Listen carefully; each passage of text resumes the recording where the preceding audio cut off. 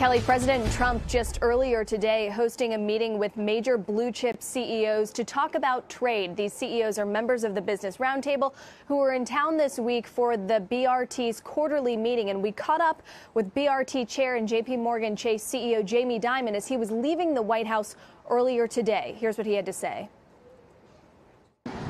Hello, everybody. yeah, we had a productive meeting. What was your message to him on trade? Uh, we'll keep that private. Okay. We're, we're in favor of getting the USMCA deal done. Wonderful. And we're going to do everything we can to get that deal done. It's very important for the United States, very important for the economy. So Dimon was coy there to our producer Bria Cousins when she asked him about his message to the president on trade. But Dimon earlier this week told a group of reporters that he believes that trade going south would be the biggest self-inflicted risk to growth in this country. And other BRT chiefs said that you know, they believe that tariffs are generally not effective, that they have had the opportunity to share that view with the White House on multiple occasions, but that the White House so far has chosen not to listen to that.